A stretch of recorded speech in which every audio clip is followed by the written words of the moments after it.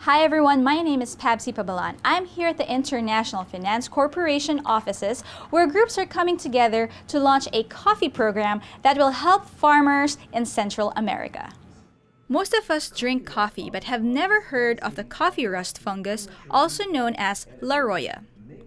The International Finance Corporation ECOM, Starbucks, and Inter-American Development Bank are coming together to help Nicaraguan farmers combat coffee rust disease.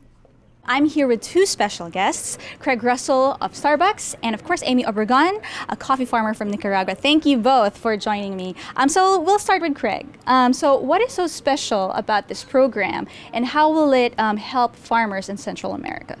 This program is unique and one of a kind because it's one of the first times farmers have had access to long-term financing, which is something they need now when renovation of their uh, crop is so important for them to have resilience in the future.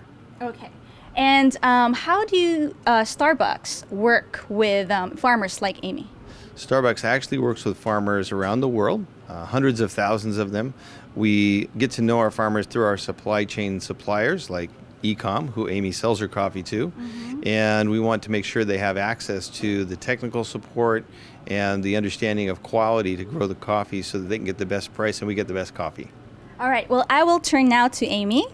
So, what did you do when the coffee rust hit your farm, and how did it affect you and your community? Sí, al inicio, pues, personalmente, no me preocupé mucho, pero ya para el 2013 sí, porque vi mucha afectación en mis plantaciones más viejas. Esta, la roya es muy agresiva y, destruye la nueva roya que tenemos ahora, porque es una mutación ya del hongo que antes teníamos.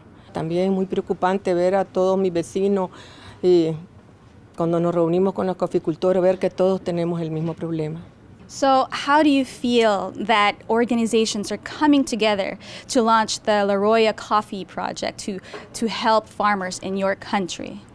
Me siento muy contenta de que ver que alguien se preocupa por nosotros, por toda nuestra comunidad, por mi país. eh, los caficultores específicamente. Y con mucho entusiasmo, pues, de que podemos... So this might be a question for both of you. I love drinking coffee. What do you recommend?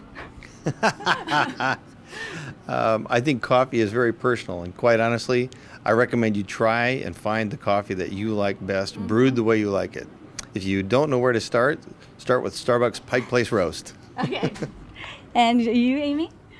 Bueno, lo, el café tiene tantas, tantas uh, gustos diferentes.